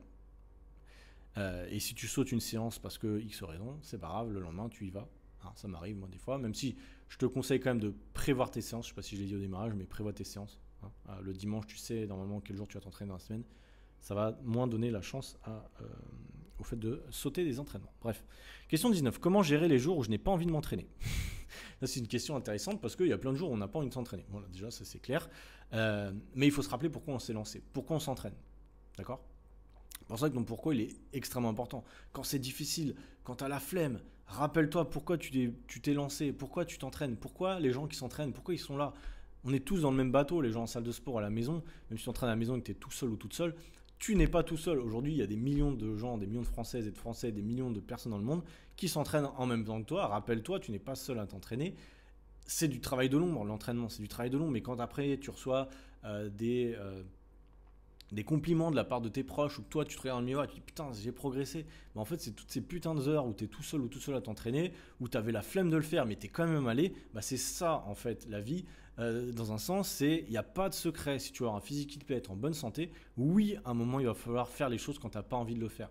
Parce que si on faisait toutes les choses euh, uniquement quand on a envie de le faire moi je m'entraînerais jamais j'irais pas marcher euh, je travaillerais 30 minutes par jour et voilà mais sauf qu'à un moment, si on veut des choses plus concrètes dans la vie, il bah, faut un peu en chier, et je l'ai déjà dit dans l'épisode aussi précédent. Euh, si tu veux des récompenses, il faut un peu faire des choses des fois qu'on n'aime pas trop. Bref, bon, c'est comme ça. À un moment, c'est de la responsabilisation. Bien sûr qu'on n'a pas toujours envie de s'entraîner, mais à un moment, prends sur toi, réfléchis à pourquoi tu t'es lancé, et, go, vas-y. Si tu es extrêmement fatigué pour X raisons, tu peux faire une séance un peu plus light. Je te conseille quand même de garder ton rythme d'entraînement, sauf si vraiment tu es en PLS, mais moi-même, j'ai remarqué plusieurs fois que des fois, j'avais vraiment l'impression que je, oh, pourrais pas m'entraîner aujourd'hui. J'y suis quand même allé et je me suis rendu compte qu'en faisant mon échauffement, très souvent, après l'échauffement, je retrouve de l'énergie. D'accord? Euh, Il y a aussi une grosse question d'état d'esprit. Si tu es affalé sur le canapé depuis une demi-heure, une heure, tu, tu scrolles sur Internet, euh, il y a de grandes chances que ton esprit te dise voilà, là, es très fatigué, c'est pas le moment. Mais en fait, tu te rends compte que tu as encore de l'énergie, c'est juste que bah, ton, ton, cerveau t'a un peu biaisé le truc et il préfère que tu restes assis sur le canapé. Mais en fin de compte, tu as encore de l'énergie. Donc teste quand même. Euh, comme Maïté le disait aussi dans un témoignage, quand tu reviens du travail, prépare. Euh, enfin, il faut que tes affaires de sport soient préparées. Il faut que ce soit facile pour toi pour aller t'entraîner. Il faut que tu enlèves toutes les frictions qui sont liées à l'entraînement. T'as pas envie de t'entraîner? Ok. Mais ta salle, elle est proche de chez toi. Ou alors ton tapis, il est prêt. Tes vêtements sont prêts. Tu as une seconde à faire et hop, tu es prêt à t'entraîner. Tu fais ton échauffement, tu débranches le cerveau, tu fais ton échauffement et bim, on est parti. Tu as ton programme qui est lancé. Mais c'est sûr que si tu as trop de friction, tu sais pas quoi faire à l'entraînement, qu'il faut que tu ailles chercher tes, vêtements, qu'en plus les vêtements que tu mets pour t'entraîner, c'est des vêtements que tu n'aimes pas trop, que tu te sens pas trop à l'aise dedans, bah, en fait, ça va amener de la friction et ça va pas forcément te donner envie de t'entraîner. Donc, facilite-toi la tâche en créant une habitude facile à tenir sur la durée, tout simplement. Question numéro 20 et dernière question. Euh, comment rester sur la bonne voie après avoir commencé? Alors, cette question-là, elle est un peu bizarre. Comment rester sur la bonne voie après avoir commencé? C'est comme les gens euh, qui me disent bah, une fois qu'on a atteint son objectif, est-ce qu'il faut continuer à s'entraîner, etc. Oui, évidemment. Euh, pour info, je le redis, ton corps est le résultat de tes habitudes à l'année. Donc si tu arrêtes de t'entraîner parce que tu sais j'ai atteint mon objectif, bah, ton corps il va revenir comme c'était avant. Pas, même principe qu'un régime. Hein. Les gens qui font un régime ensuite ils reprennent leurs vieilles habitudes, forcément ton corps après il reprend du poids parce qu'il est en cohérence, cohérence pardon, avec tes anciennes habitudes que tu as repris. Aussi simple que ça, en fait, le, corps humain, c'est pas non plus, euh, voilà, c'est pas très compliqué. Hein. Si tu t'entraînes régulièrement que tu manges bien, tu auras un corps en bonne santé et euh, enfin. Voilà, c'est pas aussi compliqué que ça. Par contre, ce que je disais avec une personne que j'ai eu peu de temps au téléphone, euh, qui m'avait posé cette question-là, c'est une bonne question, hein. mais en fait, les efforts que tu vas faire au démarrage pour t'entraîner, ça va peut-être te prendre voilà, deux, trois fois la semaine, ça va être un peu plus compliqué, etc. Ces efforts-là, au fur et à mesure que tu vas t'entraîner, ça va être des efforts beaucoup plus faciles à tenir. Moi aujourd'hui, m'entraîner, oui, parfois j'ai pas envie, mais c'est quand même beaucoup plus facile que si je venais de démarrer. Si je venais de démarrer et que je faisais la même intensité que aujourd'hui, les 4 séances que je fais avec les charges que je fais, putain, je serais fatigué, j'aurais vraiment la flemme. Euh, sauf qu'aujourd'hui, bah, avec l'habitude de le faire, bah, ça me demande quand même moins d'efforts euh, psychologiques en tout cas, je sais pas comment on pourrait dire ça, d'effort mental à, à, le faire. Donc c'est pareil pour toi, au démarrage, le plus dur c'est peut-être de s'y mettre. Le premier mois, c'est assez compliqué. Le deuxième mois, voilà, tu vas avoir des hauts, des bas. C'est vrai que le premier mois, on a un peu la motivation, c'est nouveau, etc. Le deuxième, troisième mois, ça, peut, ça se peut que la motivation redescende. Et c'est là où, effectivement, la question d'habitude, va revenir. Et euh, c'est là où se faire aider, avoir des gens, avoir un programme cohérent, ça peut être une bonne idée. Le fait aussi d'avoir une communauté comme nous, on fait notre programme, ça peut être une bonne idée pour rester motivé parce que bah, tout au long de l'année, on a des hauts, des bas. Quand il fait plus beau, moins beau, il pleut, machin. C'est normal, tu vois. On n'est pas à 100% motivé. Personne n'est motivé 100% du temps de l'année. Donc, il faut se trouver des petites astuces et, euh, c'est important de rester en contact avec des gens qui ont le même objectif que toi. Et euh, ce qu'on nous dit aussi, c'est euh, bah, pas hésiter à ajuster ton programme Si tu vois que ton programme il casse les pieds, que c'est toujours pareil, etc., n'hésite pas à changer. mais voilà, sois flexible. Encore une fois, moi je sais que j'ai des élèves, des fois, bah, pour X raison, on a besoin de changer. Bah, on, adopte, on adapte pardon, leur programme et ça marche aussi très bien comme ça. Bref, voilà, j'ai fait les 20 questions globales que tu pourrais te poser. C'est assez général évidemment. Je t'invite à, réécouter, comme j'ai dit 4, fois déjà, euh, le podcast numéro 8 sur comment créer ton programme sportif idéal. J'ai aussi une vidéo que je vais vous mettre en description juste en dessous si vous voulez apprendre un petit peu plus sur tout ça. Si vous avez besoin de vous faire accompagner via un programme sportif entièrement personnalisé et un accompagnement complet sur votre alimentation et sur vos habitudes pour vous faire perdre du poids sur le long terme, vous pouvez, euh, si vous êtes une femme entre 30 et 50 ans, rejoindre le programme Athletic Body. Pour cela, bah, vous avez le lien dans ma bio Instagram. Vous pouvez réserver votre appel bilan ou vous m'écrivez sur Instagram et on prévoit ensemble cet appel bilan d'une demi-heure complètement offert dans lequel on va étudier votre situation, voir où vous en êtes et vous présenter en détail le programme. Tout simplement, il n'y a pas plus compliqué que ça, plus simple que ça, pardon.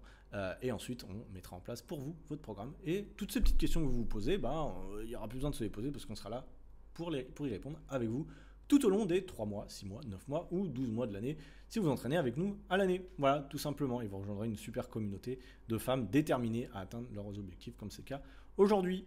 Euh, tout simplement. Donc voilà. Et si vous voulez, bah vous savez quoi, je vais vous mettre un petit témoignage comme j'ai fait la semaine dernière. Je sais que pour certains, ça les intéresse, ça les motive. Et je vais vous mettre aujourd'hui le témoignage de Maïté, comme je vous disais, euh, tout à l'heure, en, réfléchissant à ça, c'est un témoignage qui tombe à pic parce qu'elle aussi, elle faisait des cours collectifs, etc. Et aujourd'hui, elle a eu des super résultats. Elle va nous expliquer ça. Elle a fait d'ailleurs euh, une grosse randonnée dans le Mont Blanc, justement grâce aux entraînements qu'on lui a fait, grâce à l'alimentation, grâce à sa nouvelle vie, entre guillemets. Bah, aujourd'hui, elle est capable de marcher pendant des heures et de faire des super balades dans le Mont Blanc. Donc bravo à elle et je vous mets son témoignage. Je vous souhaite une très bonne, une très bonne journée, fin de journée, quand tu veux, quand tu écoutes ça. Et on se dit à la semaine prochaine. D'ailleurs, je pense que la semaine prochaine, à voir je vous ferai sans doute un débrief de Kuala Lumpur et de la Malaisie. Ça fera un mois que j'y suis quand euh, je ferai le prochain épisode. Donc, pour ceux qui seraient intéressés un peu par le voyage, je sais que pour certains c'est moins le cas, mais ça peut aussi vous intéresser. Je fais des épisodes de temps en temps sur ça. J'ai déjà fait la Thaïlande, j'ai déjà fait la Colombie, j'ai déjà fait la Bulgarie. Qu'est-ce que j'ai fait? J'ai fait New York, j'ai fait Dubaï. Euh, qu'est-ce que j'ai fait? Bon, j'ai fait plein de pays dans le podcast, donc si jamais tu veux regarder, si ça t'intéresse un petit peu ma, vie de nomade, bah, je te fais des petits débriefs sur ça de temps en temps pour te donner envie de voyager et euh, profiter de la vie. Évidemment, parce qu'il n'y a pas que l'entraînement dans la vie. Et oui, il y a aussi le voyage. Allez, à plus. Je vous laisse avec Maïté. Ciao, bye. Rappelle, toi, tu avais participé justement à mon challenge du mois de janvier, si je ne me trompe pas. Oui, exactement. Ouais, tout à fait. Et ensuite, tu, nous, tu, nous, avais rejoint. Et, euh, et, là, on est le 9 septembre et tu es encore avec nous dans le programme. Donc, ça fait plaisir. Est-ce que tu peux nous dire. Vas-y, excuse-moi. Non, non, non. C'est même, je crois, un truc de fin d'année. J'ai commencé en janvier, il me semble. Non, c'était pas. Bon, c'est pas grave. Le challenge, moi, je l'ai lancé ouais, début janvier. J'ai lancé début janvier. et, euh, dans la foulée, j'ai adhéré. Dans les bonnes résolutions de 2024. Et du coup, Exactement, tout à fait. En fait, moi, c'est vrai qu'en janvier, j'ai commencé parce que c'était vraiment le moment. En mai l'année dernière, j'avais participé à une trail à montagne et je suis tombée. Je me suis fait une fracture sur l'humérus qui m'a valu quatre semaines d'arrêt et et pas de très bonnes choses parce que quatre semaines d'arrêt, moi, je travaille mon, à mon compte, je m'arrête quasiment jamais. Là, j'ai cogité énormément, j'ai du coup plus de sport, plus rien, puisque je ne pouvais pas. Et de fil en aiguille, de ne pas faire de sport, ben, les travers, hein, la nourriture, euh, les mauvaises pensées. Du coup, euh, quand j'ai pu refaire du sport, j'avais plus envie. Mais vraiment, je marchais en montagne avant, j'avais plus envie. J'avais plus le truc, la niaque pour repartir, alors que j'adore ça. Et c'est vrai que quand je t'ai entendu plusieurs fois sur les réseaux, c'est vrai que ça m'a fait tilt, parce que certes, comme tout le monde, j'en ai écouté des choses. Hein.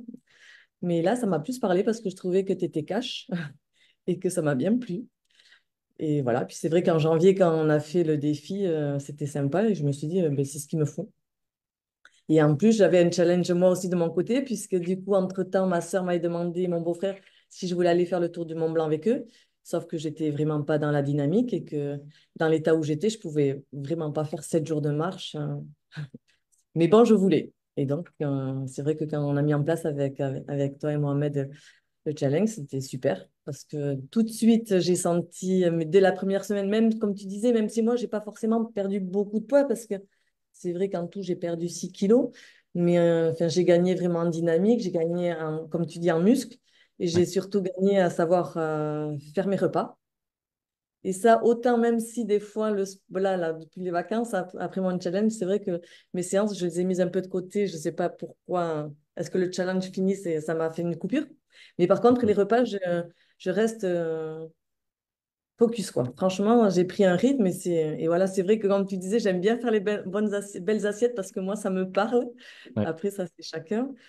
Euh, et mais ça, même si le week-end, par contre, moi, je suis, voilà, le dimanche, c'est vrai que je compte rien, je fais pas attention, mais c'est ce que je voulais aussi moi. Enfin, je voulais vraiment euh, avoir du résultat en faisant la semaine. Moi, je dis pas que je fais du n'importe quoi le dimanche, mais c'est vrai que je calcule pas et je me fais plaisir. Si, euh, voilà. Mais n'empêche que j'ai du résultat. J'ai, alors pas forcément beaucoup dans les kilos, mais par contre, Physiquement, oui, parce que tout le monde me dit, mais combien de kilos t'as perdu? Alors qu'en somme, c'est pas énorme non plus, mais...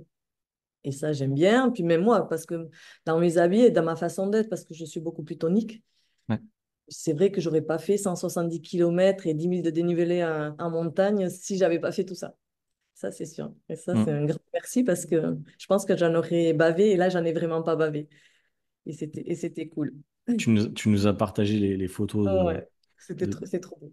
de, ça. Et c'est vrai que j'ai je l'ai dit un petit peu hier, mais le fait de se mettre un objectif en tête, alors toi, c'est un objectif Mont Blanc, mais euh, chacun, chacun ça, ça, Il n'y avait pas que ça, mais c'était le but final, c'était aussi ça. Quoi. Ouais. Et c'est génial que tu l'aies fait et après que tu nous l'aies partagé, effectivement, parce que ça donne envie aussi aux autres.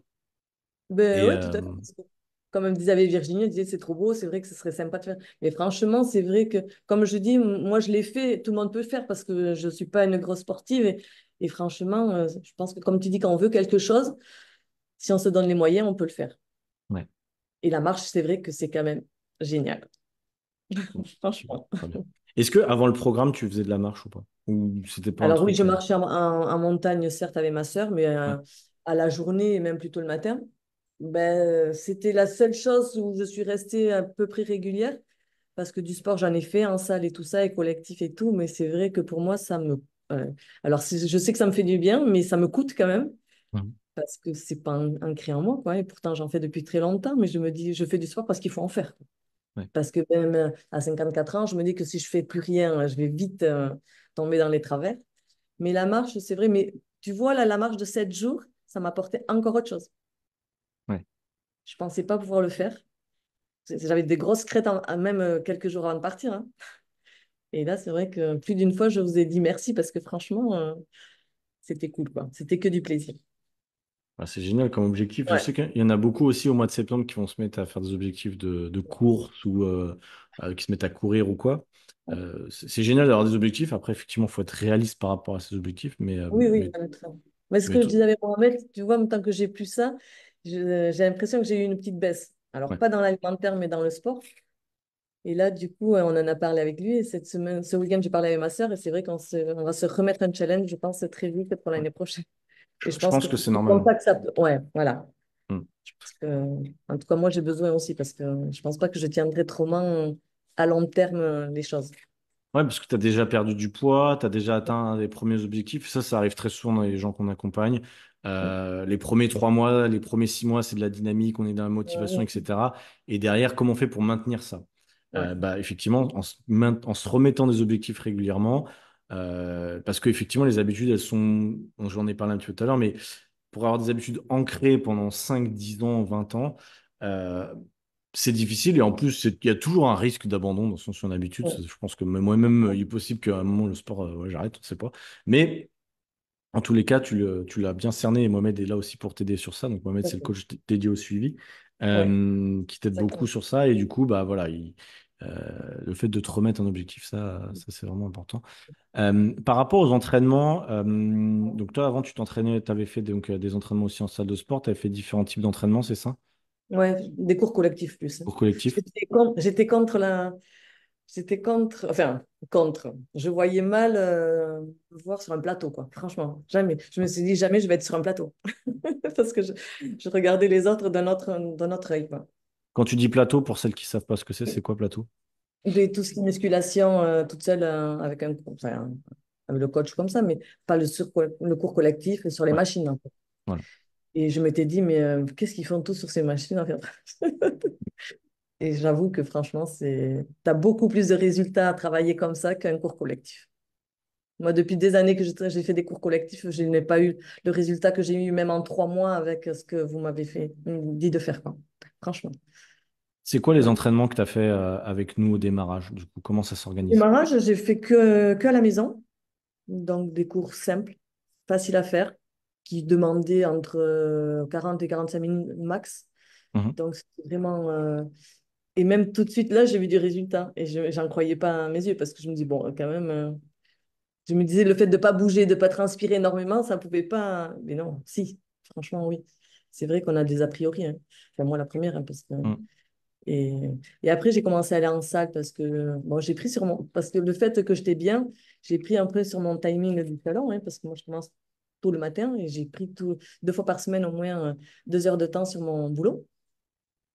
Et franchement, j'ai pas regretté. Quoi. Ça. Bon, là, je pouvais moins le faire en l'été parce que j'avais un peu plus de boulot et que commencer plus tard, c'était plus compliqué. Mais, mais j'avoue que c'était cool. Ouais. Après, je préfère euh, aller le matin. Moi, moi, perso, je préfère aller le matin parce que je suis une lève tôt. Il y a moins de monde aussi. Moi, j'ai une petite salle de, de gym. Et c'est vrai que quand il y a du monde, tu attends beaucoup les appareils. Quoi. Donc, et ça, c'est... Après le boulot, c'est gavant un peu. Ouais. Je comprends. Ça, ça peut être aller dans une plus grosse salle, mais euh, j'ai pas fait le pas encore. Dans une plus grosse salle, ça peut être la même problématique selon comment, euh, comment, il, fonctionne. Ouais, ça dépend.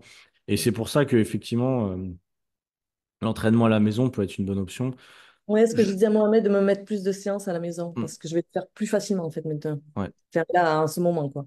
En fait, l'idée, toi, tu l'as bien compris, c'est de réduire la friction par rapport au sport plus il y a de friction, c'est-à-dire si je dois passer trois ans dans les bouchons, si je dois faire ci, ça, ça, il y a de grandes chances de ne pas le faire. Mais si tu arrives à la maison après le travail, que tes affaires sont prêtes, que ton euh, tapis est déroulé, que ton élastique il est prêt, ah, Tout à fait. Normalement, il y a plus que j'avais mis en place euh, au début et j'avais mon tapis. Ben, euh, quand je partais le matin, je rentre que le soir. Moi, il était, je l'avais mis en place. Mm. J'avais mis tout à côté et je le faisais. Je dis, là, c'est prêt, tu, tu, tu fonces. Et tu avais tes séances qui étaient prévues par Mohamed et du coup, euh, tu savais ce que tu avais à faire. Ouais.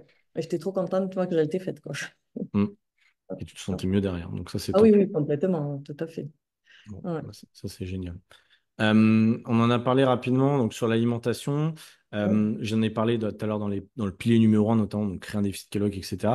Est-ce que, donc, par rapport aux résultats que tu as eu, est-ce que, tu l'as déjà dit, mais juste pour répéter euh, et pour qu'on soit bien clair, est-ce que tu as eu des aliments que tu as dû t'interdire est-ce que c'était en mode régime ou est-ce que ta vision un petit peu de la perte de poids elle a changé justement en suivant cette complètement, parce qu'en ouais, complètement. En fait, déjà, je ne me suis pas interdit les choses. Si il y avait des choses que je voulais moins manger, c'était en petite, petite quantité peut-être. Par contre, j'ai mangé beaucoup plus de volume que je mangeais avant. Ça, c'est clair. Et alors que je dépassais largement les, quantités caloriques avec les petites assiettes. Et là, j'ai vraiment des volumes, je suis vraiment rassasiée. Moi, le matin, les petits déj que je fais là en ce moment, jamais j'ai fait ça. Jamais, jamais. Et je prends plaisir à manger le petit déj le matin. Parce qu'en plus, là, bon, c'est vrai qu'en ce moment, après les vacances, j'avais énormément de teuf. Donc, j'ai fait euh, plutôt un, bon repas le matin. Et ça ne me coûte pas de manger du salé, du chaud, du, des légumes. Et le, et le midi, c'est vrai que du coup, j'ai mangé plus, plus un snack que enfin, un skir, un fromage blanc comme ça, parce que par rapport à mon boulot, c'était mieux. Mais franchement, j'adore les petits déj. Quoi. Franchement, euh, je suis fan. Et c'est vrai qu'au début, je ne l'étais pas forcément. Donc, quand j'entends certaines qui disent oui, mais moi, je ne peux pas manger le matin. Mais ça vient, franchement. Euh, enfin, perso, moi, c'est venu. Donc, euh, hmm. Et je ne je partirai pas sans, sans petit déj quoi, le matin. Je préfère me lever une heure avant, mais je fais mon petit déj. C'est un moment de plaisir maintenant pour toi. Ah, mais complet, ouais. Et puis, euh, je peux tenir euh, facilement. Euh, à midi, j'ai pas faim, quoi. Franchement, j'ai n'ai hmm. pas faim. Et le fait de manger salé, je me suis rendu compte que ça me tient beaucoup mieux que le sucré. Oui. Et du coup, le fait d'être plus rassasié, de prendre plaisir sur ton premier repas, donc tu as un bon rapport en protéines, toi tu fais pas mal d'œufs aussi. Donc déjà, tu pars avec un, avantage, et du coup, tu as moins de possibilités de fringales ou de craquage, comme certains pourraient dire, parce que justement, tu as, déjà. Euh, j'ai pas de fringale. Franchement, mm. euh, même jusqu'à 14 heures, j'ai pas de fringale. Mm. Donc, euh, ça, c'est top aussi. Donc, donc c'est pour ça que l'idée, c'est, on le redit, mais en perte de poids, c'est pas de moins manger, c'est pas de pas manger pendant certaines heures. C'est juste de trouver un, système, effectivement, qui vous correspond. Vous n'êtes pas obligé de manger un petit déj, hein, je le redis, pour certaines, vous n'êtes pas obligé. mais il y a un avantage pour pas mal de monde, en tout cas, en prendre, je pense. et, et, en fait, c'est tout un système, c'est assez psychologique, mais le fait de, si vous voulez, je vois beaucoup de gens qui vont se priver de manger pendant un long moment, mais derrière, forcément, en fait, plus il y a de frustration qui est engendrée par euh, des restrictions alimentaires, plus il y a de chances de, craquer. Et ça, en fait, on, le sait. Je pense que si vous regardez le live, vous le savez. Mais pour autant, votre cerveau. Je pense l'a fait aussi en plus, hmm. je pense. Et euh, bah ouais, toi, aussi, du coup, tu es passé par là. Et, oui, oui. et, c'est. Les jeunes et les machins et les trucs. Et c'est juste changer un petit peu son, son état d'esprit par rapport à ça. J'espère que les quatre jours vont aider à, à prendre conscience de certaines choses aux, personnes qui vont nous regarder. Ouais. Moi, ce que je peux dire aussi, Clément, c'est que tu vois, quand j'ai fait la démarche avec vous, c'est que je disais, oui, bon, moi, je suis en préménopause, puisque vu mon âge, et que tout le monde me disait, oui, mais à la préménopause, on prend beaucoup de poids et on ne les perd pas. Mmh Donc, c'est vrai que dans la tête, on a ça. Et, euh, et c'est vrai que vous m'avez dit non, c'est pas vrai. Euh, si tu te mets à manger correctement et faire le déficit calorique, ça irait. Mais franchement, c'est vrai. Dès la première semaine, je l'ai senti. J'étais moins, j'étais moins gonflée, euh, même si j'avais perdu que quelques grammes, mais tout de suite, j'ai senti. Et en fait, on a, même là-dessus, on a des a priori parce qu'on les entend. Hein. parce que mm. moi, je ne l'ai pas inventé. Et, plein de, et j'ai plein de femmes de mon âge qui me disent Oui, mais c'est normal, j'ai pris 10 kilos, c'est la ménopause. Mm. Voilà. C'est vrai qu'on a, on a des moi, si, moi, si je peux donner un conseil, c'est de ne pas écouter les retours d'expérience. Alors là, je ne veux pas dire de retour d'expérience parce que là, c'est un témoignage, mais dans notre entourage, la plupart des gens ne savent pas ce qu'ils disent. La plupart des gens, ils ont entendu un truc, ils vont le répéter bêtement, ils, ont, ils vont croire ça, mais vraiment à 100%, parce qu'il y a X ou Y personne qui l'a dit. Et en fait, on se rend compte, et dans le fitness du manière générale, c'est que personne ne sait. Personne n'a lu une étude scientifique. On a juste été... mais même un docteur qui aurait dit un truc, ça y est, c'est la vérité vraie. Et on se rend compte que la perte de poids et le sport de manière générale et l'alimentation, ça évolue tous les ans. Donc, entre quelqu'un, un docteur qui s'est pas mis à jour depuis 20 ans, il va vous dire des trucs qui sont complètement incohérents aujourd'hui. Et c'est pas parce qu'il est docteur et qu'il a fait 8 ans ou 20, 10 euh, ans d'expérience de je sais pas quoi que en fait il est mieux placé pour vous aider. Nous on le voit bien, il y a des gens, euh, notamment des, sur Instagram, des diététiciens et nutritionnistes qui, s'offusquent quand il y a euh, docteur Jimmy Mohamed qui fait le buzz là, comme il fait souvent, parce qu'en fait il dit n'importe quoi. Il y en a plein, ils disent n'importe quoi. Et c'est parce qu'ils sont sur France 5 ou, ou euh, TF1 qui passe, qui ou Europe 1 ou je sais pas quoi, que c'est des gens qu'il faut écouter. Et du coup, des fois on se dit mais qui écouter? C'est vrai que c'est pas évident. Oui, mais c'est vrai que c'est dur de faire le tri des fois. Hein. Ouais. Mais souvent le bon sens, si on prend du recul, souvent le bon sens reprend le dessus. Juste, moi, c'est le conseil que je pourrais donner. Euh, reprenez les bases. C'est pour ça qu'on parle des trois piliers, etc. Et je ne rentre pas dans le détail. Et ton témoignage est, parfait parce que ça correspond à ça. C'est faites-vous plaisir. Restez sur les bases, total calorique, euh, alimentation de plaisir, rapport en protéines, faire des entraînements, marcher, et c'est tout. Parce que tu vois, rien qu'avec ça, toi, tu as eu des résultats. On n'a pas parlé de jeûne, on n'a pas parlé d'aliments, tu n'as pas pris de compléments alimentaires en plus. Ah non, non, non. Non, non, ah non, non, rien. Et non, et puis en plus, comme tu dis, on est beaucoup mieux dans sa tête. Mm. Franchement. Euh, Donc voilà, tout simplement. Alors, je pense que même si je, vais avoir peut-être un petit moment de, flottement, je sais que je vais pas, je vais pas, je vais y revenir. Enfin, je mm. vais, vais reprendre le dessus et, et je vais jamais revenir comme j'étais avant. Ça, c'est sûr. Rien qu'alimentairement, je vais pas faire ce que je faisais avant. Ça, c'est sûr. Voilà, donc c'est du bon du bon. Parce que ton état d'esprit et tes connaissances ont évolué finalement. ah oui, oui, complètement. tout à fait. Euh, donc, c'est génial. Et pour celles qui nous écoutent, nous écoutent pardon, euh, Maïté, il y a neuf mois, elle était au même point peut-être que, certainement que vous aujourd'hui. Et ah bah, en, travaillant euh, sur ces croyances, encore une fois, c'est pas un mot péjoratif, mais ces croyances qu'on a sur la perte de poids ou en mettant en place de nouvelles choses, en nous faisant confiance, en tout cas en faisant confiance au processus, a eu des mmh. Euh, et, c'est génial. En tout cas, je suis content euh, de ton témoignage. Je te remercie beaucoup. Et, euh, plaisir. C'est la deuxième fois que tu. Je suis contente de, te connaître parce que franchement, ça m'a changé la vie. Donc, c'est parfait. Bon, bah, tant mieux, en tout cas. On passe un coucou à Mohamed aussi, qui a été chargé de ton. Oh, tout à fait. Il est adorable. Il est toujours là. C'est super. Merci, Mohamed.